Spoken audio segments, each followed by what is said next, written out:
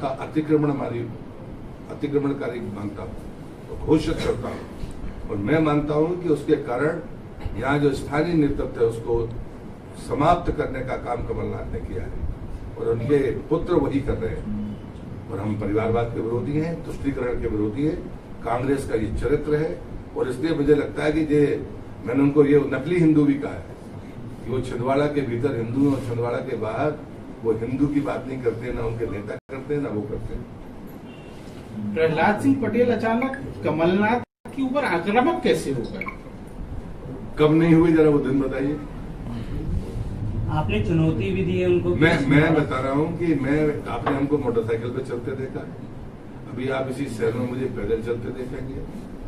मैं उम्मीदवार हूँ नरसिंहपुर से लेकिन छिंदवाड़ा की धरती पर पैदल चलकर भारतीय जनता पार्टी और अपने नौजवान मित्र के लिए वोट मांगूँगा।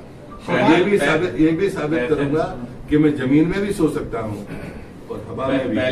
लेकिन कमलनाथ सिर्फ़ हवा में धूल उड़ा सकते मतलब ये माना जाए कि आपकी जो लोकसभा का अनुभव छिंदवाड़ा का था वो इस बार काम आएगा।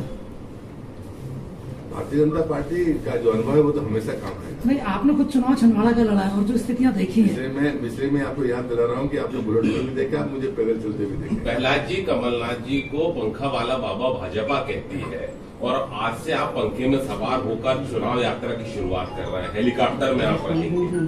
क्या अंतर है दोनों राम जी पैदल चले थे रावण से चलने के लिए? और उन्होंने कहा था कि वहाँ सब कुछ ये व्रत रघुवीरा है। लेकिन लोगों ने दे दिया था ना।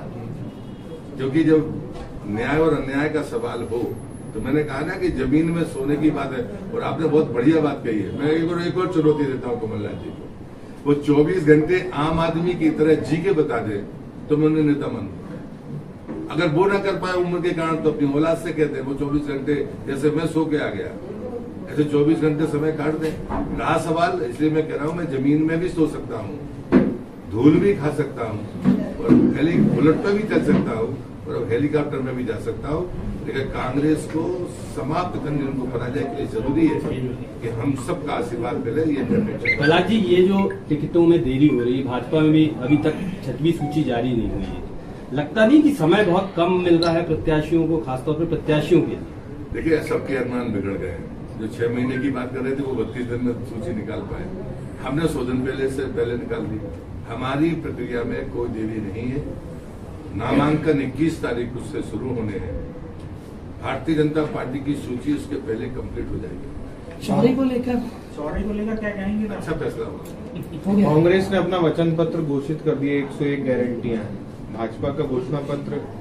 झूठ की गारंटी है लालच की गारंटी है भ्रम फैलाने की गारंटी है कांग्रेस के वचन पत्र में। इससे ज़्यादा कुछ नहीं है। उसमें हमारा समय के साथ ही हमारे डेट तय होती है। नामांकन भरे जाएँगे उसके बाद में समिति ने अपनी रिपोर्ट दी है हमारा घोषणा पत्र दिए समय पर आएगा। इस बार क्षेत्रपाल सारे चुनावों में है। तो मुख्यमंत्री का फेस इन्हीं क्षेत्रपाल में से कोई एक आएगा क्या? अटकलबाजियों से राजनीति नहीं होती। और मैंने एक जगह पे किसी चैनल में कहा भी था कि हमारी तुलना हमारे लोगों में आपस में नहीं होनी चाहिए। हमारी तुलना कमलनाथ जी से हो दिग्विजय सिंह जी से हो दूसरा नेतृत्व तो दूसरी पीढ़ी का नेतृत्व तो कांग्रेस के पास है नहीं। तो मैं किसी और का नाम लू कि उससे हो। ये भारतीय जनता पार्टी ही है। हम लोग तो दूसरी पंथी के नेता हैं जिनके आप नाम ले रहे हो। तीसरी पंथी भी तैयार है। इसलिए ये अटकलबाजी नहीं होनी चाहिए। भारतीय जनता पार्टी का फैसला, अंतिम फैसला।